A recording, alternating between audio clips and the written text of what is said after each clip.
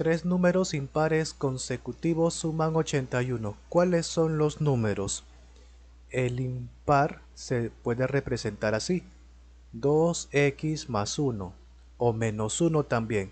El siguiente impar que es consecutivo se haya sumándole 2 al número, sería más 2 sería 3. Y el siguiente, otra vez más 2, sería ahora más 5, porque recuerda que impares son 1, 3, 5, van de 2 en 2, ¿verdad? 7, etc. Como dice, ellos suman, entonces los sumamos.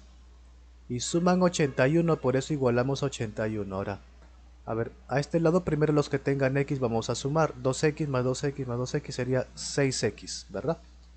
A ver, por acá voy a colocar el igual.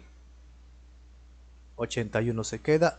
Acá, más 1, más 3, más 5, lo sumas y sale más 9 y como lo vamos a mandar al otro lado pasa como menos 9.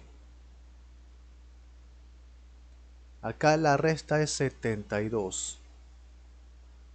6 está multiplicando así que pasa a dividir 72 entre 6 es 12 y listo, respuesta final, pero no.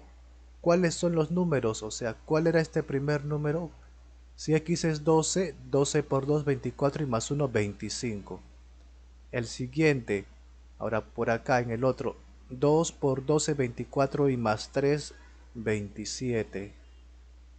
Ahora por acá, 2 por 12, 24 y más 5, 29. Aquí están entonces los tres números impares consecutivos. Y ahí termina.